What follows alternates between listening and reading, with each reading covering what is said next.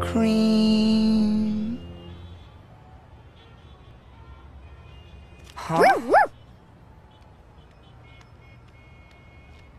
Where'd the truck go? Hello, Oswald. Hello, Weenie. You've got to try my salmon sorbet. It tastes like it's fresh from the sea. No, thank you, Henry. Did you see which way the ice cream truck went? He just drove that way. I hear it. Thanks, Henry.